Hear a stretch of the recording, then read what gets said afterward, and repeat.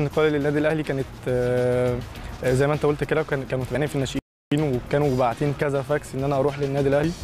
آه، وبعدها أما طلعت الدرجة الأولى كان في ماتشات الدرجة الثانية كانت بتتذاع. آه، فكان كمان كان الكابتن هشام حنفي كان موجود كان في في استوديو تحليلي كان متابعني وكان الكابتن طبعا لما كان ماسكنا الكابتن سمير كمونة والكابتن محمد عامر. آه، فهم والكابتن سامي قمصان كان ماسك حرس الحدود آه، فكانوا يعني آه، ادوا انطباع عني كويس للنادي الأهلي وتقارير كويسة. فمن النقطة دي آه، آه، الصفقة بقت رسمية يعني الكلام بقى رسمي والكلام بقى بشكل أكبر يعني. أول ما جيت النادي الأهلي ده كان كان بالنسبة لي آه، إن أنا حققت حاجة من من من حلم حياتي إن أنا أدخل النادي الأهلي.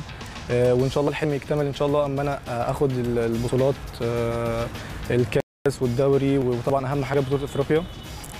وإن شاء الله نوصل لكأس العالم للانديه إن شاء الله. أنا أول ما صعدت الفريق الأول أول ما جيت ال- النادي الأهلي على طول آه، اللعيبة استقبلتني بشكل كويس جدا واتكلموا معايا إن أنا يعني ما اخافش إن أنا أكون كويس معاهم. كنت أنا لسه صغير كنت أنا لسه 18 سنة.